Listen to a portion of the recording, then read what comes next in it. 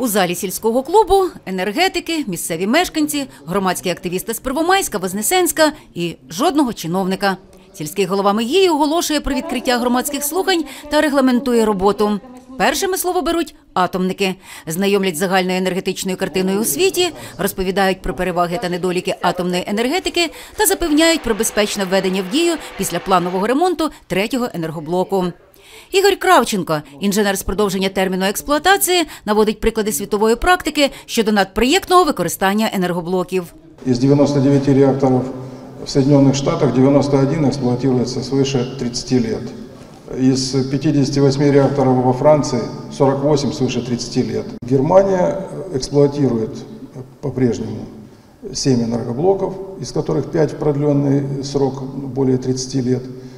И пока не готова э, от них отказаться. Енергетик переконує, що южноукраїнський енергоблок має ще десятилітній ресурс потужності, демонструє показники та результати аналізу усіх факторів.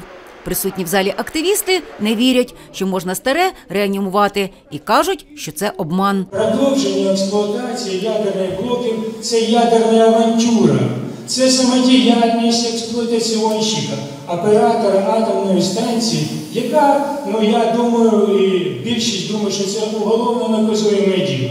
Громадські активісти стурбовані ймовірними аваріями, пригадують Чорнобиль, Фукусиму і вимагають призупинити дію третього реактору. справа безпеки це дуже серйозна справа, тим більше в, такому випадку, як пов'язана з атомною е, енергетикою. Значить, у нас є приклади, і я не хочу про них нав- навіть згадувати. Ми говоримо про дешеву електроенергію, але хто порахував і додав до тої електроенергії, скільки обійшлося е, всі ці заходи на Чорнобилі. Тому питання неоднозначне і не в мігії його треба вирішувати.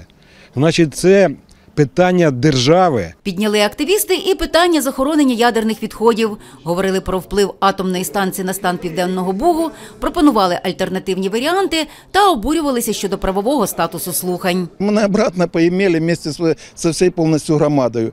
Приїхали сюди е, чиновники Южноукраїнська для того, щоб поставити громаду фактом, що вони вже зробили. Тільки я не пойму, е, для чого тоді збирали громаду. Енергетики ж доводили своє. Навіть мету слухань озвучили поінформувати, обговорити та врахувати думки громади. Тільки цікаво, коли вони будуть враховані, якщо термін введення в експлуатацію енергоблоку уже призначено перед новим роком. Хоча попереду ще дев'ять слухань.